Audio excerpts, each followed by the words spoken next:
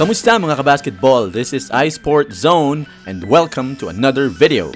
Mainit pa rin ang usapan sa match-up kahapon lang sa pagitan ng Boston Celtics at ng Golden State Warriors. Ang ganda ng duelo ng dalawang star point guards na si Steph Curry at si Kyrie Irving. At hindi natapos yan sa loob ng court. Sa post-game interview, sinabi ni Kyrie Irving na may poise daw talaga ang Golden State pero sinwerte lang din kaya sila nanalo. Interesting you mentioned poise. I asked Clay Thompson about the victory. He said we just had poise down the stretch. What is poise in the final seconds? Well, I mean, they had poise, but they also got pretty lucky too. So, um, you know, we had two pretty good looks that, you know, either way gone down, um, different game. At nang binanggit kay Steph Curry na may halong swerte daw ang pagkapanalo nila, ay parang hindi na-appreciate ito ng three-time NBA champion. He said we got lucky. Got pretty lucky. Pretty lucky. I don't know what that means, but uh, in terms of just forcing them into tough shots, I mean, I, they could have made them. Um, those turnovers really could have hurt us. But over the course of 48, we gave ourselves a good good opportunity to win the game. Kung hindi man na-appreciate ni Steph Curry ang mga statements si Kyrie Irving, ay may punto naman si Curry. Dahil 48 minutes pinapaghirapan sa NBA ang isang panalo.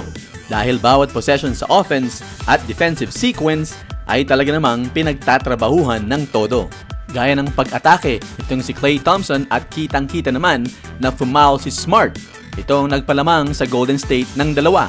Wala ding swerteng matatawag dito sa magandang depensa na ginawa ng Golden State laban kay Kyrie Irving upang pilitin siya na i-give up ang bola pagkatapos ay minadaling itira na matagal pa naman ang shot clock.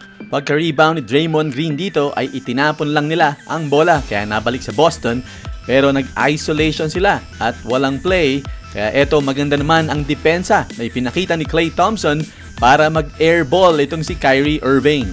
Walang swerte dyan mga kabasketball.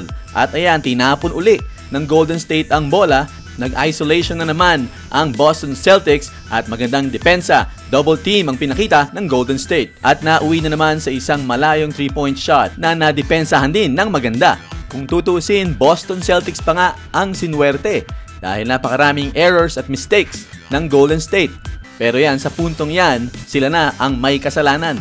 Hindi nila binax out si Draymond at nauwi sa another 2 points at isang desperation shot sa huli na hindi na pumasok. Kaya kitang-kita mga kabasketball na Boston Celtics pa nga ang maswerte at walang ibang dapat sisihin kundi ang kanilang sarili. Sulat lang ang inyong mga reaction or comments sa ibaba, like or share this video, and don't forget to subscribe to this channel. This is iSport Zone.